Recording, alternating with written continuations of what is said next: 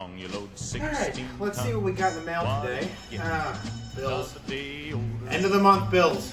Say know how it is. Don't you call me cause I Waiting for the uh, paycheck to come in and we got the end of the month bills. Okay, we got that. company See what this is. Wow. Okay, so we're gonna pay that. On your load 16 And we still got date night tonight. We gotta cover the date night dinner. Well, you know, why don't we go see what we got in the fridge and let's have a great date night dinner with whatever we got in the fridge. Let's figure it out. Alright, it's date night. Uh, I gotta make something for my spouse, something that's really good. Um, but as you saw, it's the end of the month and, and uh, you know, haven't gotten paid yet. So, um, first of all, as always, welcome to Cooking with Michael. I'm gonna go ahead and get started and put on my apron and let's see what we can do to uh, have a great date night dinner. How many of you out there uh, get paid uh, monthly or maybe bi-weekly and you get to the point where you're at the end of that check and there's really not a whole lot left? Well, that's most of us. So, you know, sometimes you, you can't go shopping and prepare for a great date night dinner. So you have to kind of figure out what you have in the kitchen. Uh, and that's what we're going to do tonight. We're going to figure out what we have in the kitchen. So let's take a look and uh, find out what we got. Let's make something. So this one is uh, completely different, totally unplanned. And uh, let's just see what we come up with. So I'm going to go over here to the fridge. Let's see. Oh, I got an idea. Oh, wait a second. Wait, wait, wait, wait. we got our Pinot Grigio. Can we just use this for, for date night dinner? Just have a bunch of Pinot Grigio and see what happens? Now we'll make food too. Uh, so we'll get that. Let's see. I got a great idea though. Let's see. We've got, um, do we have? We do. We've got, ah. We've got biscuits. Canned biscuits, that's good. Um, let's see what else we got. Um, hmm. This still good. We got celery. Yeah, we got. Ooh, we got two things of celery. Not sure why, but we got some celery. Uh, we have carrots? Oh! If you watched my last week's episode, uh, you saw I used the ep- the uh, garlic last week, but I found another one. I've got a whole another one. I knew I had one. I thought I did. Let's see what else I got. Let's see. Ooh, okay, this is good. So I have to say thanks to Montgomery County Schools because they keep sending my kids home with uh, lunches and, and stuff like that, and they don't eat the carrots, but I can cut these up and make some carrots. Or make that in there. Uh, let's see what else. think I have. I do. I've got some frozen chicken breasts. All right, so let's do some frozen chicken breasts. Um, what else do I have? Do I have? Let's see. Um, no. Ooh, ooh, ooh, ooh, ooh. All right, I've got uh, some chicken broth. And let's see, do I have it? I do. I have tapioca flour from a previous episode. Again, thanks for watching. If you know which one I use, I got tapioca flour. Um, I think that's pretty much good. So what we can do is we can make a great chicken pot pie. Uh, some vegetables, some garlic. Um, I don't know, garlic a vegetable? Anyway, uh, some yeah, broth uh, with the biscuits and chicken and what have you, and the tapioca flour to make it a little thicker. So um, that's kind of our ingredients. You can see. Um, so we're gonna try and put this together, and we're gonna make uh, we're gonna make chicken pot pie with uh, the leftovers that I've had in my fridge. So I'm gonna open up the Pinot Grigio. Pinot Grigio. I will make a great date night dinner with what you've got in your uh, in your kitchen. So be right back. All right, we're back. Uh, first things first, I always have to. I'm going to go ahead and open up the Pinot Grigio. Um, I have to say thank you to Andrew Chapel Beer and Wine um, because, if anything, at least we have our Pinot Grigio, and uh, he always makes sure we're taking care of the Pinot Grigio. So thank you, Andrew. Always a pleasure, and uh, we really enjoy it, and really appreciate you. Uh, always appreciate uh, you helping us out with this. So. Um, I pulled the ingredients out. I, just real quick, I did pull a tapioca flour out. We'll talk a little bit more about that, but you can use regular flour if you have that. I just have a tapioca flour from, um, I used it for a couple of our episodes, I believe, uh, helped a thickening agent, so um, it'll work really nice with this. So, um, so what I'm going to do is I'm going to, let's get out our cutting board. Uh, you know what we'll first do? What we're going to do first is we're going to go ahead, let me get this stuff off the stove because, um, I don't want to, you know, set everything on fire. We're going to cut up some of these vegetables and uh, get ready to cook those. So, uh, but we're gonna turn. We're gonna set our oven. We're gonna cook the biscuits first. And and if you read the can on the biscuits, it says place oven 350 degrees for non-stick cookie sheet, which is what we're gonna use. Um, and 11 to 15 minutes. I'm only gonna cook them halfway. When you make the, the, the chicken pot pie stuff, the, the chicken part of it, which is the chicken and the, the the broth and the the garlic and actually we salt and pepper. I'll have, I know I have salt and pepper on here, um, but we make all that stuff together. Um, you'll cook it for about five ten minutes after that, and that'll finish up the biscuits. If you don't cook it, uh, the biscuits will actually be kind of mushy underneath. Um, so we're gonna cook these ahead of time. So we'll go ahead and we'll set the uh, the, the we'll go ahead and set the timer uh, for 375 get those started. Make sure there's nothing in here. Oh by the way if you watched my last week thank you so much. Um, but they came uh, they came and they fixed my stove this week um, and warranty paid for it. So end of the month money woes. Doesn't matter because warranty paid for it. Yes! Gotta love those warranties. So if you're out buying a car no never mind. Um, anyway. So warranty paid for it so we're good to go. So we're to go ahead and let's go ahead and set this up we're going to do 365 and start that. So what I'm going to do first is I'm going to take out some of the celery. Um, if the celery is a little bit old and it's kind of brown, let's kind of cut around it. You can see it's a little bit brown. Um, so we'll just cut around. Let me get uh, my knife out of here. So we'll cut the ends off. Cut those there. Um, cut the ends off here. Again, this is, I'm not sure how long it's been in my fridge, but still looks pretty good. So we're just going to just cut this up. I don't know when the last time I had celery was. But as long as it's not moldy and you cut off the brown spots, how bad could it be? Guess we'll find out. All right, so again, we look at that. So we're going to cut off the ends of this. Actually, okay. All right, so we're going to go ahead and take out the carrots. Again, thanks to Montgomery County Schools as uh, I got some more here. Take that. Thanks to Montgomery County Schools as they uh, keep sending this stuff home, and my kids don't like carrots, so I will definitely use them.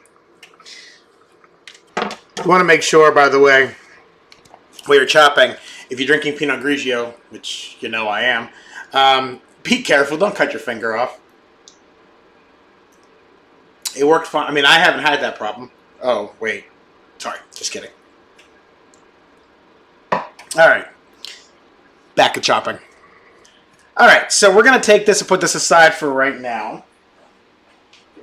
So what I'm going to do next, I'm going to go ahead and do the uh, biscuits halfway. Remember, we're only going to cook them halfway. The reason being is you don't want them fully cooked because they will fully cook when you're cooking the all together when they're on top of the uh, mixture of chicken and and vegetables and spices and and broth and whatnot. Uh, but if you don't cook them at least halfway, they will be doughy on the bottom. Uh, so make sure you do it that way. So we're gonna go ahead and get out the uh, cookie sheet. All right, there's a cookie sheet. Go ahead and open these puppies up here. So we're just gonna put these out here raw. Put them in for about five minutes. So we will set the timer for five minutes. So next what we're going to do is we're going to go ahead and we're going to cook the carrots and the celery. Uh, I'm going to get out my cast iron skillet and we're going to cook them till they're soft. Uh, so when they go in, that's a lot easier in the casserole dish. All right, so let me got the skillet. Again, thank you to Andrew Chapel Beer and Wine who provided us with these skillets. I love these things. So, go ahead and put that down. What I'm going to do, let me get some butter, actually. So I'm going to turn this on, let's put it on medium, and let's put the butter in there. When the butter melts, now when the butter melts, what I'll do is I'll put the carrots and the celery in there, and a little bit of the garlic. Uh, we'll cook that all up, okay?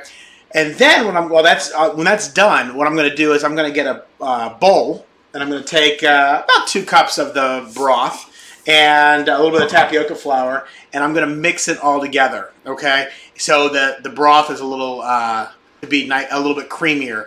Um, if we had cream of chicken soup, that would be great. Um, flour, regular flour works also. Just be careful not to overuse it. Same thing with tapioca flour. You want to overuse it because you don't want it to be real, almost hard. You want it to be a little bit thick like gravy, but still edible.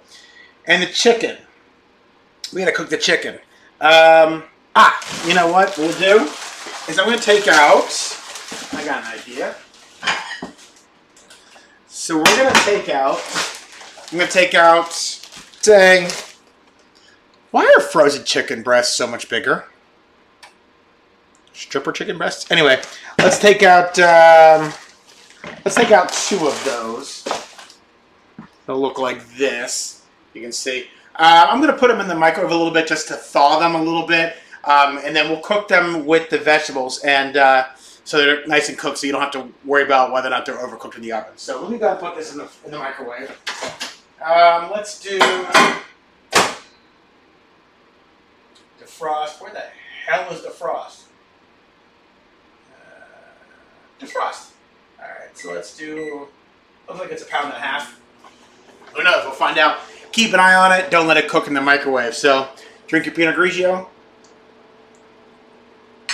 But yeah, so what we'll do is we'll, we'll cook the uh, carrots and celery, a little bit of the garlic powder, and the chicken all in the skillet. So it's all nice and cooked.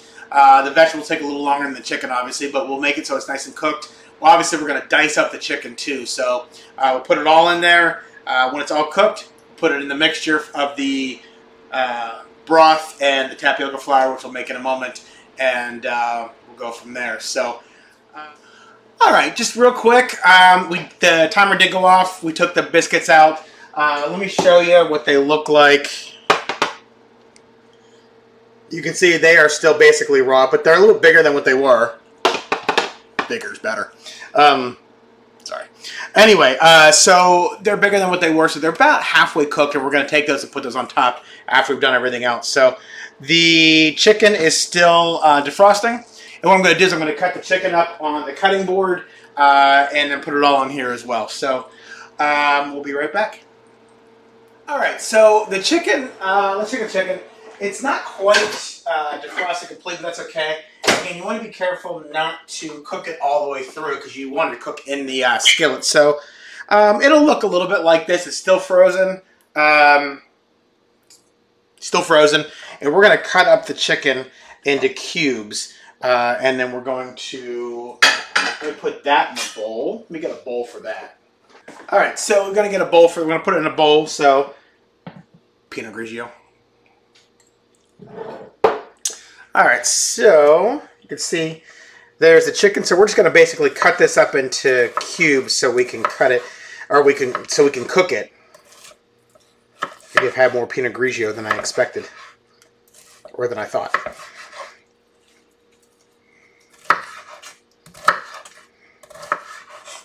So this is what the chicken looks like. You can see it's basically just cubed, okay?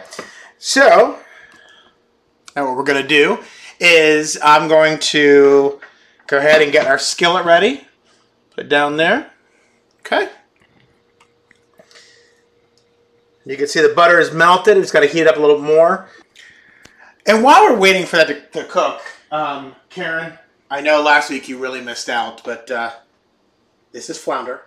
Hi. This is flounder. Okay. Karen, that was for you because I know last week with no oven and we had to do a different take, you didn't get to see a cat, so I got a cat for you. All right.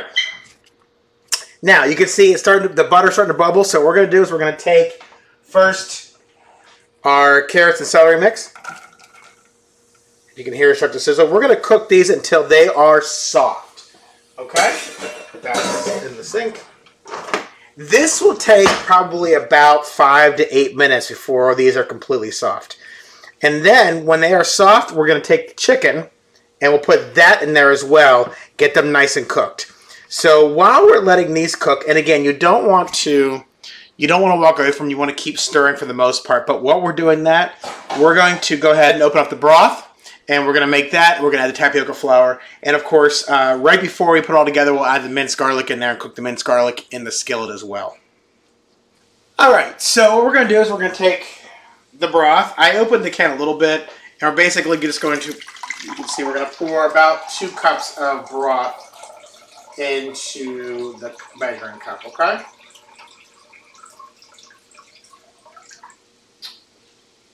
And the best way to check measuring is put on a level surface. Put on a level surface, look at it, go in there. My wife pointed that out to me today, even though I knew that. Don't tell her I knew that. Anyway, So we're going to take that, and then we're going to pour it right into, uh, basically, I'm going to pour it into a bowl here, okay? Put that aside for right now. Uh, let's take, actually, let's stir this up a little more. Get that more stirred in there. And again, you want these to be cooked and soft. Uh, you really don't want to have your uh, chicken pot pie any crunchy, okay? So if it takes a little longer than 5 to 10 minutes, um, so be it. It takes a little longer. That's okay.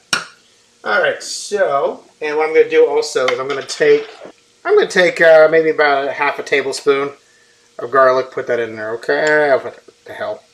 Put a little more in there. While it's doing that, I'm going to take some of the tapioca flour. And, all right, so we're going to take our tapioca flour. We're going to take, uh, let's say, I don't know. Uh, let's do four heaping teaspoons. I don't know. Put enough in there and make it look, make it thick. It's certainly more than heaping, but you know it is what it is. See how that works out. Worst case scenario, it's a little thin. All right, what we're going to do is we're going to, hi Phoebe, Phoebe's in here. We're going to whisk this together, whisk it all up. Um, it does kind of start to thicken almost right away, so you want to try and, and get it in there as quickly, or stir it up as quickly as possible, okay? Because what you don't want to do is have it uh, get on the bottom, which is what exactly is happening right now. Uh, I think it took a little too long. So, and we'll put this aside for right now. Okay? And note while you're doing this, again, this is, like I said, completely unscripted, so I really don't have much of a recipe for this. I'm just kind of shooting from the hip.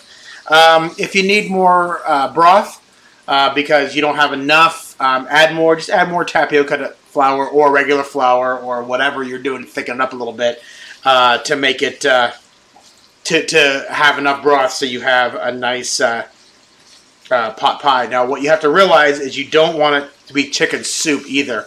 Um, basically, the pot pie is going to be kind of a creamy mixture with the vegetables, the chicken, that kind of thing. So, and keep in mind, if it does not work out well, fuck you Pinot Grigio. Just keep drinking until she forgets it sucks. That's Phoebe telling you what you thought, what she thinks. Phoebe. All right, all right. So let's take a look at this. It's uh, it's coming along pretty good. So I'm going to go ahead and do is I'm going to go ahead and put the chicken in there as well. Get that chicken nice and, and cooked. Because again, it's none of the, all this is going to do really in the in the oven is solidify and finish baking the biscuits on top. So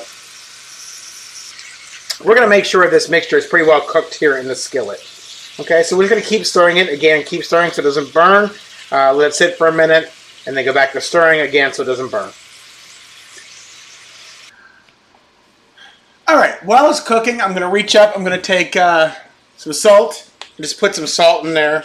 Not a lot. Again, know your audience. We always talk about that. Some pepper. Okay. Didn't show them the ingredients because I just thought about it now. Why not? And let's get some onion powder too. Onion powder. Uh, put some onion powder in there as well. Just a little bit. Not a lot. Just enough to uh, add some taste to it. And we'll go back to stirring it. Stir it up. You can see the chicken is coming along nicely. It's not quite done yet. So we're going to keep stirring and keep letting it cook until everything is soft and fully done. So uh, we'll be right back.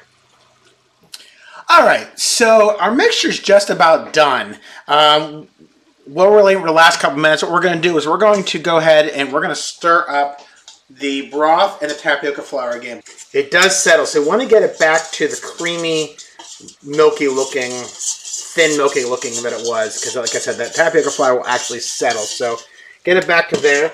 So what we're going to do now is, now that's done, we're going to go ahead and we're going to take our Corningware dish. And you can see we drain some of the liquid out. And we're basically just going to, and uh, fuck that pan's hot, even with the, uh, even with the, the rubber thing on it. So we're going to go ahead and just put that right into there, okay? I'm going to go ahead and take the broth and tapioca flour mixture I made, pour that in there, okay? And it kind of looks like that. All right, put that inside there.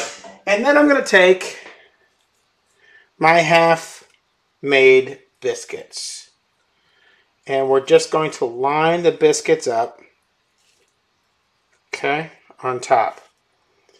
All right, so we're going to line those on top. Now, it'll look like that, okay? So what I'm going to do now is I'm going to take this, I'm going to put this in the oven, and I'm going to cook for about 10 minutes.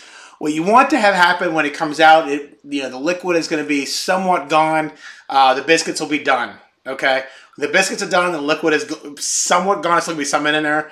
Then it's basically done. When that's it, we'll scoop some out into a bowl or a plate or whatever. Um, I haven't figured that part out yet. All right, so it's the time for 10 minutes. We'll see what it's like when it comes back.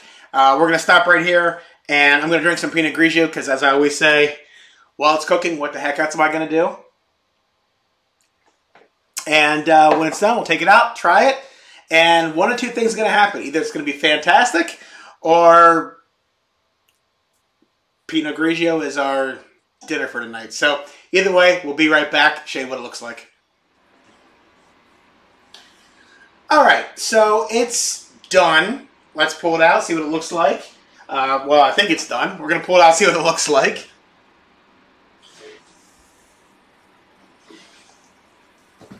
All right, so show you that. So it's not quite done, actually. So we're going to put it back in for another couple minutes uh, and see what it's, get these fully brown on top, okay? Uh, and then we'll uh, scoop it out and try and go from there. So I'm going to put this back in. We'll probably put it in for, let's say, about five more minutes, and then we'll go from there. All right, so uh, it looks like it's almost done, so we're going to try it again.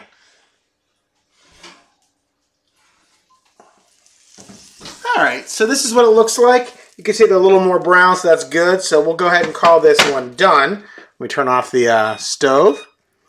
And we're going to basically just scoop out. Uh, it wasn't as thick as I had hoped it would be. But scoop out uh, some of the chicken and the vegetables and, and the biscuit and see what happens. We're going to go ahead and this is what it looks like when it's uh, done. Before I do this, I might need some Pinot Grigio. Because if it sucks, I'm going to need a lot of Pinot Grigio because I have to explain to my loved one, my date night, my spouse, my wife, who spent the entire time putting the kids to bed while I was making this, um, that I fucked up dinner and we're going to DoorDash. So let's see what happens. Let me get a fork. And typically, as I've said before, I always say, oh, this is great, even when it sucks. Um, I've only had that happen once, by the way. But I will tell you honestly if this is not very good. So let me go ahead and uh, take some of this out here. So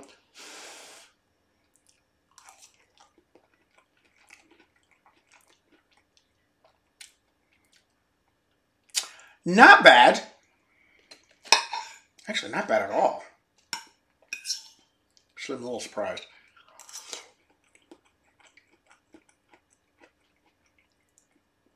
Actually, that's really good. I'm, I, I'll be honest with you, I'm pleasantly surprised. I was a little nervous how this is going to turn out because um, I've never really done this before. I was just kind of, like I said, shooting from the hip. So, one more bite. So, look, that's hot. Okay. Um, so, anyway, that's it. Again, I, I, and as I've said before, we, you know, a lot of us uh, live paycheck to paycheck and sometimes we, we can't prepare for that special date night. Um, we try and have date night. As you know, we have date night in my house every Saturday night uh, where we spend time, we catch up. Because uh, I work a lot. She's always with the kids, so she's working with the kids. Um, and we never really get a chance to catch up. When I get home from work, she's exhausted and she's out. Um, or I'm exhausted and I'm out. So, you know, it, it's good to have these nights. And, and that's what this is all about. But sometimes you know, you just don't have the money to go out and, and buy fish and buy steak and buy whatever else and, and put it all together. So you have to kind of forage with what you have. And that's what we did here, Pinot Grigio. So we, that's what we did here. We foraged and we put together something pretty good, actually. I'm actually fairly impressed. So try it, see what you think. Um, if you have different options, um, different ways of doing it, let me know. Um, I have heard from many of you that it is uh, having difficulties putting pictures of the food that you're making up on uh, our YouTube channel. So on the comment section. So just comment this week. We will be picking the winner this week for the comments. Um, we haven't narrowed down, by the way, but uh, if you put something up there and it's really good, um, you could uh, bump everybody and win some swag from Cooking with Michael. So Again, thanks everybody for watching. I hope you try it. And as always, uh, share it with people you know. Uh, watch it, comment, like it, subscribe if you haven't. Uh, and as always, the more uh, subscriptions and the more shares, the more comments, the more watching, the more viewing, the more likes, all that kind of stuff. It helps show up on other people's feeds and we get more people watching, which is what we're trying to do. So uh, every week we pick up more subscribers. Every week we have more people watching. So thank you so much for watching. We hope you love it. Hope you enjoy the dinner. I hope you have a great, great date night. Uh, drink some Pinot Grigio, and uh, we'll see you next week every Saturday, 8 p.m. on Cooking with Michael. Have a great night, everybody. Good night. You load 16 tons. What do you get? Another day older and deeper in debt. St. Peter, don't you call me, cause I can't go. I owe my soul to the company store.